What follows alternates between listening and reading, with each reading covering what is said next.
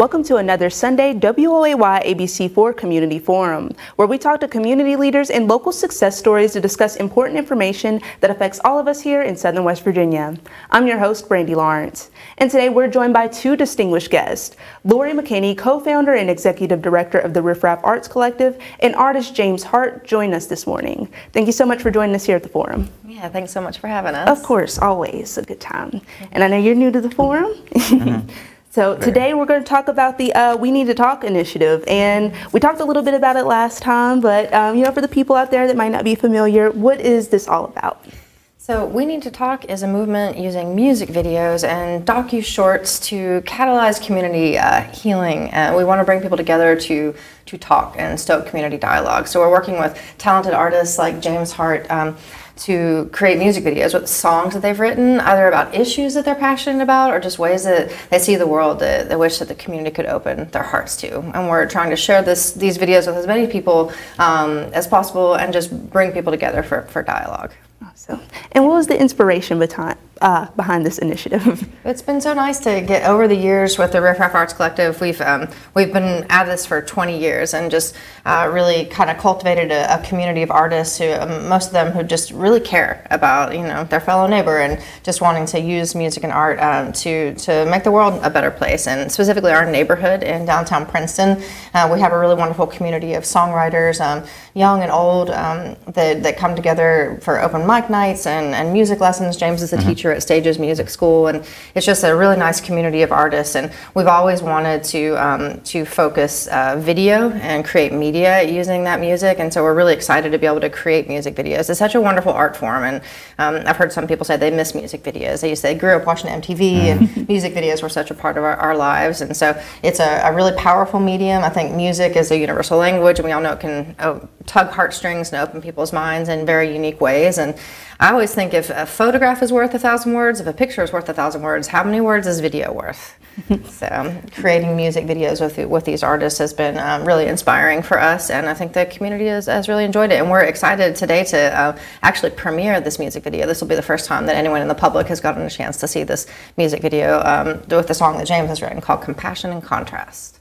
Wonderful. Yeah. Oh, well, we got something exclusive, WOAY. Yeah. So um, I think you're definitely right about the music video thing. We talk about my family, I mean, talk to my family about this all the time. Like, you can't just go on MTV and watch videos anymore. No. So, um, and with the artists and things, are is everyone from the collective, or is it kind of like branch out of whoever's interested can make a video and join in? Or currently, we're working on eight music videos, and so the artists that we're working with on this uh, particular uh, set of videos uh, have been involved, and that's how we know each other and have the relationships. But we love this project so much that it's going to be a part of our work indefinitely. So we're always looking for new artists. And uh, feel free, anyone that would like to um, get involved or, or, please shout out to us. And we're always looking for songs and artists to, to create the next sort of set of music videos with. Awesome. And I know working here at the station, there's some people that like to do behind the scenes. So are you looking for anybody in that aspect too? You know, we are, I was just talking earlier about how there's always a, a need for production uh, people, and we're always looking to meet new people. So we would love to, anyone that wants to reach out to get involved with us, we would love to hear from them. Awesome. So just uh, Riff Raff Arts Collective? Yep. The riffraff.net is our website, and they're welcome to give us a phone call or shout out on Facebook or on the website or anyone else, any way they'd like to reach out to us or come, come and see us in Princeton. Awesome. And you said for this new video that we're going to premiere today, um, it's compassion in, contrast. In contrast. Yeah. So what really inspired that, you know, title and the, you know, this focus? uh, well, uh, it started as far as when I wrote the song. I wrote it. Um, it was like it was pre-pandemic, and uh, you know we were experiencing a lot of division. Uh, you know, th- there was a lot of riots going on, different things like that. We had the Tiki Torch guys, which, you know, I loathe. Um, and, you know, I've, I've, just seen this shift, and that's what inspired me to write this song. It wasn't till the pandemic when I actually recorded it. I actually recorded this song in my living room because I was doing uh, lessons and stuff from uh, uh, virtual lessons. And, uh, um, it just really, I think the idea behind the song itself and the video is to not really show an opinion. I think we've got enough opinions, um, but just to uh, be like a, you know, a mirror of, you know, through my own lens, and uh, it's um, hmm, how do I say it?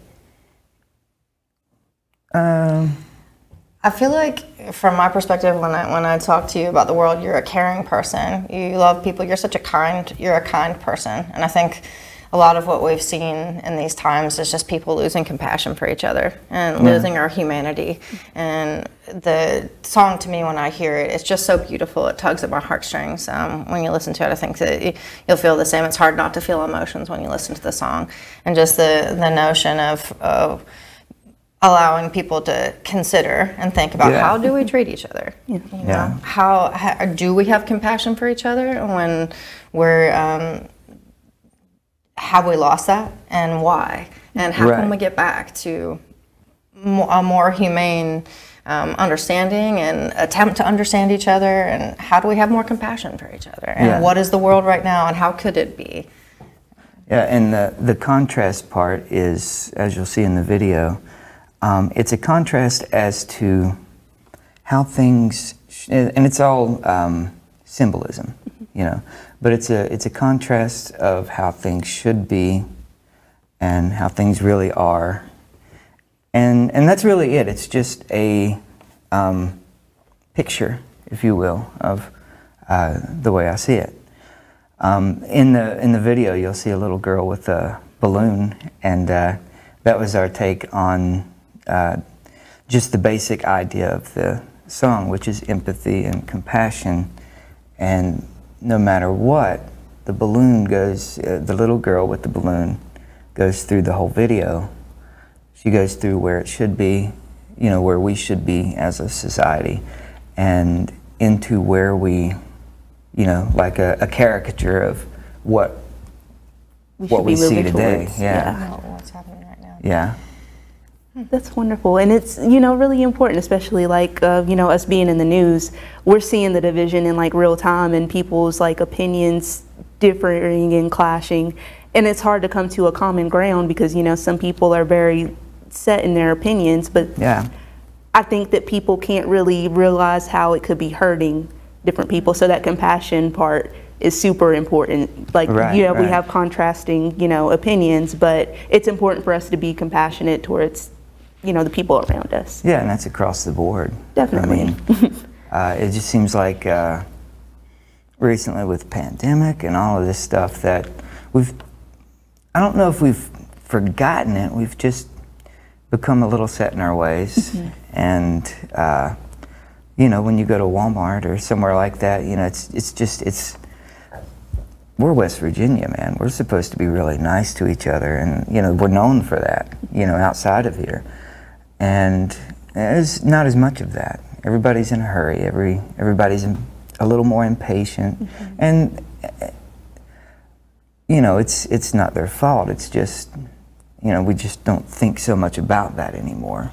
And that's what we're just really hoping to do with this whole project. Is from this point forward, we want to lift the voices of artists and just listen to each other and find ways that we can connect, like we're doing right now, and just hear each other and just talk and see what we can come up with. So I think that uh, the trailer of the, the project that we're getting ready to watch um, just kind of gives an overview of what we need to talk is all about. I'm excited for y'all to see it. Awesome. And we do have a teaser available. I don't know if we were ready for that right now. Or? I think so. All right. I think we're all right. We're ready to go. Let's go take a look at the teaser. We all have so much to learn from each other. No one has all the answers. We may have our minds made up on a certain issue and think that there is no other way until we get a glimpse from another's perspective and hear about the lived experience from someone who is walking a vastly different journey than our own, and our minds and our hearts are open. We need to listen deeply to each other, try our best to connect and understand our neighbors, and help us lead towards a more just and harmonious way of life. Now, more than ever, it is vital. So We Need to Talk is a movement using music videos and docu shorts to build bridges and catalyze community healing. So, what that means is we're creating works with artists who have written songs about either issues that they're passionate about or ways that we see the world that we wish that the community could open their hearts to.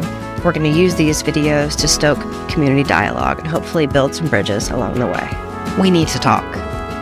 Catch the next video in the series, Compassion and Contrast, available online starting July 11th. Find out more at theriffraff.net slash we need to talk.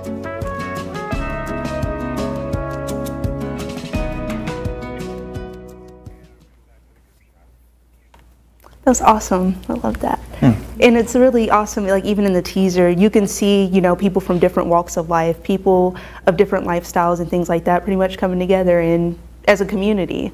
So, I mean, that's beautiful to see, especially, you know, here in West Virginia. I think there's a misconception that it's just one type of person. Like, Right. but I mean, it's people of all walks of life. I'm a lifelong West Virginian, and I've had people ask me all the time, "Where are you from?" Because I think they're used to people being from outside of here, and I'm like, born and raised. like, so that's really awesome. Um, the people, you know, involved, were these people, you know, right in Princeton that you found that, you know, just wanted to get involved?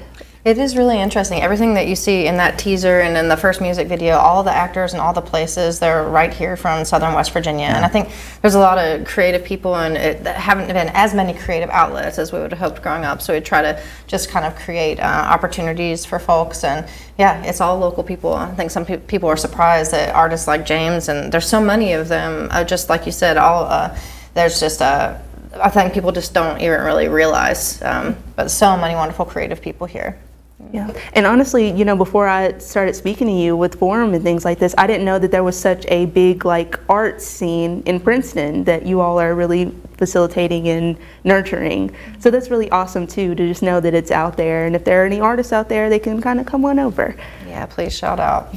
So um, we're about to go on to our first break, but before we do, can you plug the contact information for people to get in touch with you all? Yeah, absolutely. Um, look there. Yep. so anyone that uh, would like to reach out and get involved, we would love to hear from you. You can visit uh, theriffraff.net and on our website, or you can reach out to us on Facebook or come see us in Princeton, our art gallery at 869 Mercer Street. We're open from Monday through Saturday from 10 to 6. Stop by anytime. All right, awesome. All right, so that makes our first half. You guys stay tuned for our second half. You got to look at the little tease, but next half we are going to look at the full video. So you guys stay tuned. All right, mics are off.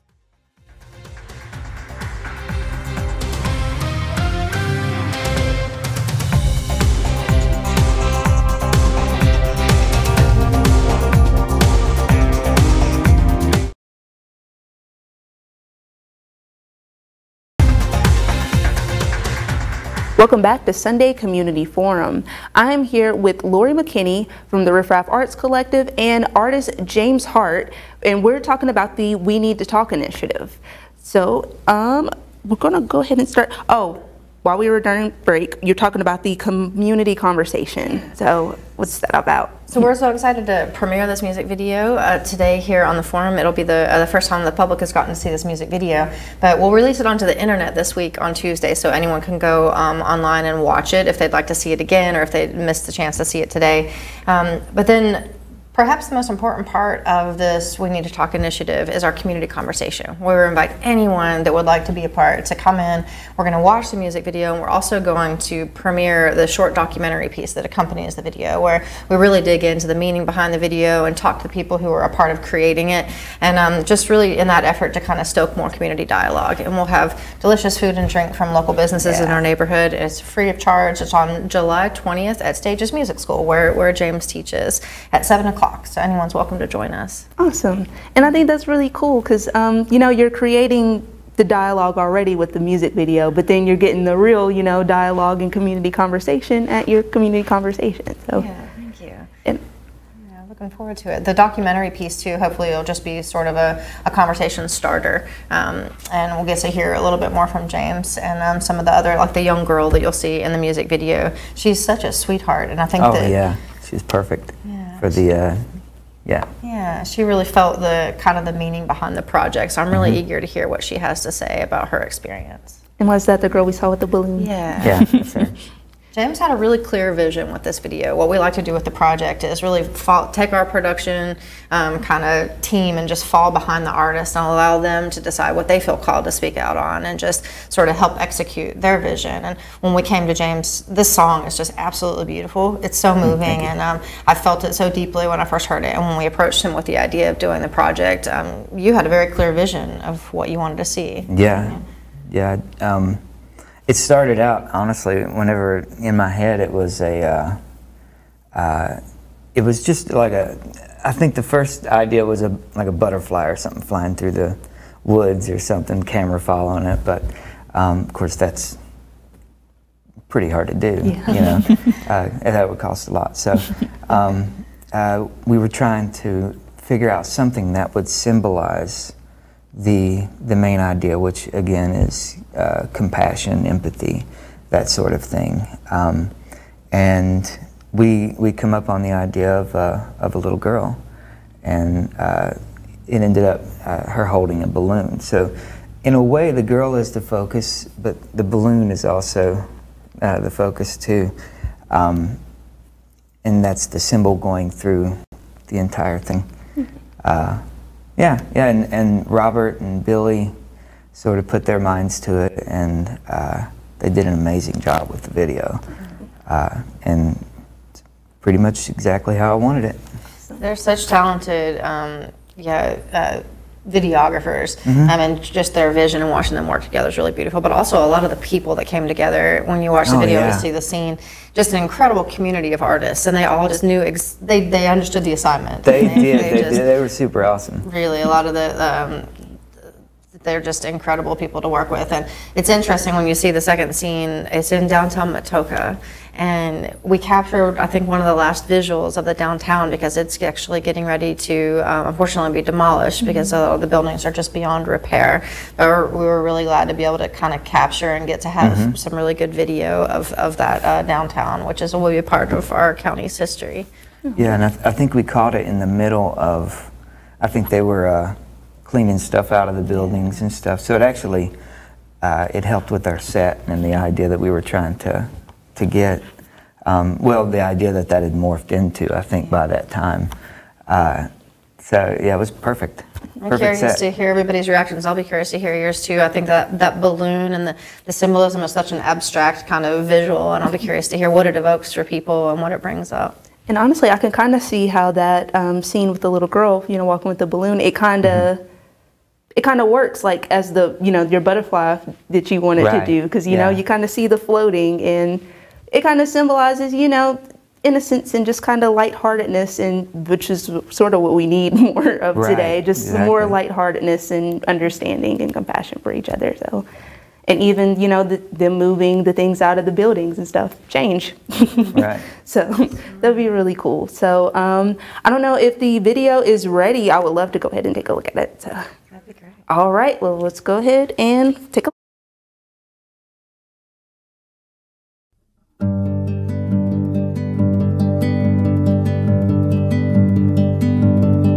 It's not hard to forget. It's not hard to forgive. It's not hard to love another. But we act like it is. It's so easy. So easy. Is it really out of fashion to show someone compassion? Emotion starts with action and begins to gain traction if we try.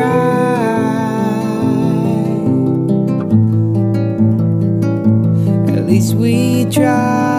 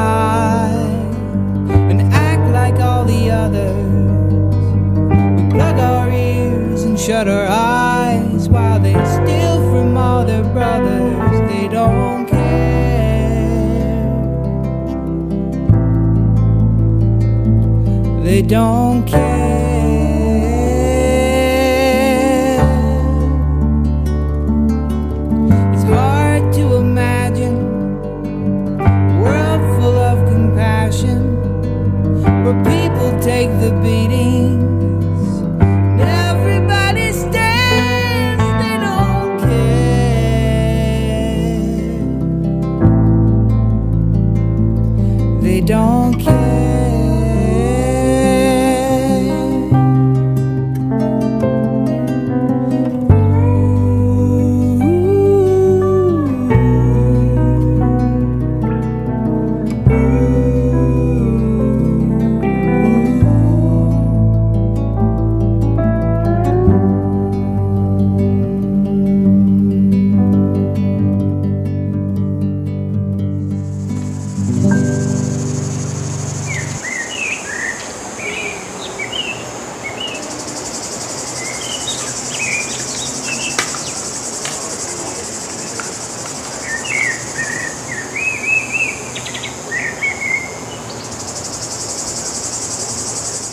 That was awesome. I absolutely you. loved it. You're a great musician. You have a great voice as Thank you. well. So um, I can definitely see, you know, all the symbolism that you were talking about. Even like the little girl kind of looking in the tree, Mm-hmm. and um, you know the people walking down the, I mean, running down the street as she's, you know, walking.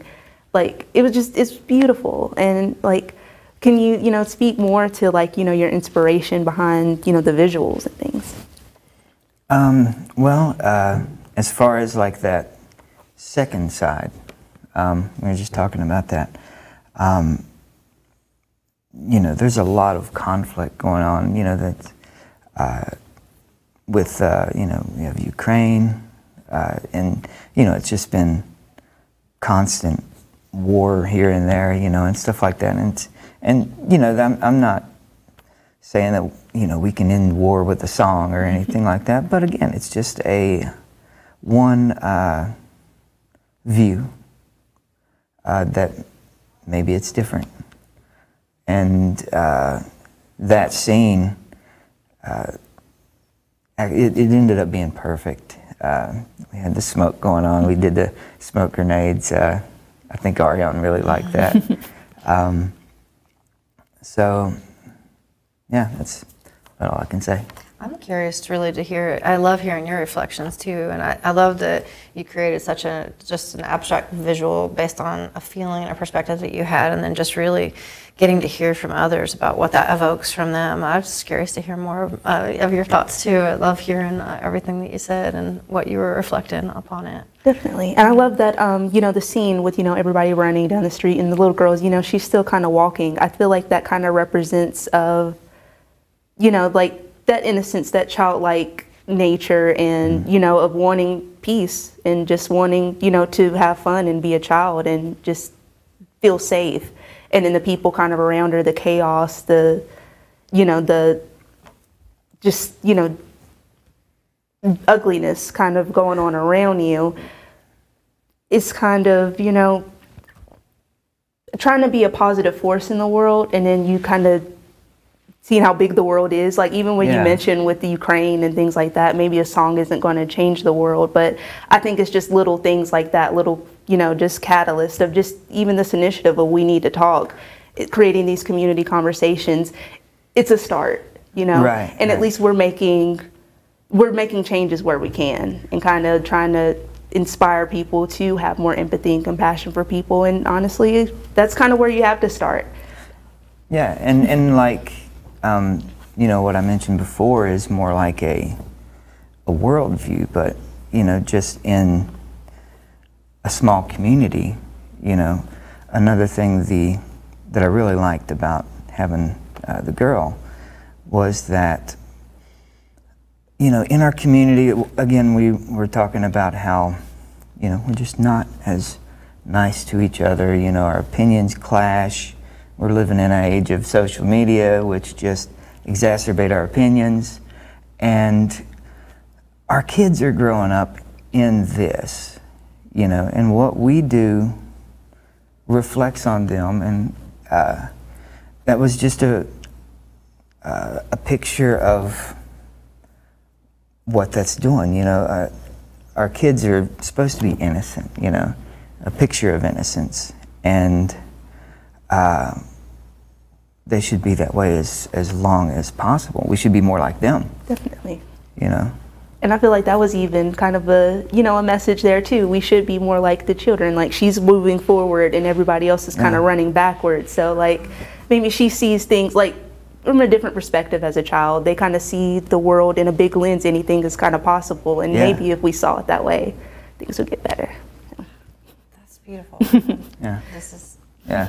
really nice first time getting to like hear the reflections and uh, um, ponder all the different uh, ways that this is gonna, uh, what it's all gonna mean to people. So we are running out of time here, but before we kind of go, can you plug the contact information one more time so you know people can join the community conversation and give their feedback on? Absolutely. Thank you so much. So this video is going to be available online on Facebook, Instagram, and on our website um, this Tuesday. So you're welcome to watch it online, but we'd also love you to, for you to join us in person on Thursday, July 20th at 7 p.m. at Stages Music School, where James is a teacher, 855 Mercer Street. Anyone is welcome to join us. There'll be delicious food and beverage and just a, a warm, welcoming environment. Um, please feel feel free to come out and join us for that, and also just get involved by giving us a call, writing to us on our website or on our Facebook page, or stopping by to see us at our gallery at 869 Mercer Street in the Grassroots District of downtown Princeton. We're open Monday through Saturday, 10 a.m. to 6 p.m. Awesome. Thank you guys so much for joining us here at the forum. It's always a pleasure, Lori, and I hope you come back Thank and you. see us too, James. Yeah, yeah. And guys, thank you all for tuning in this Sunday. Be sure to tune in next Sunday where we speak to more distinguished guests about important things that are happening here in Southern West Virginia. Have a happy Sunday.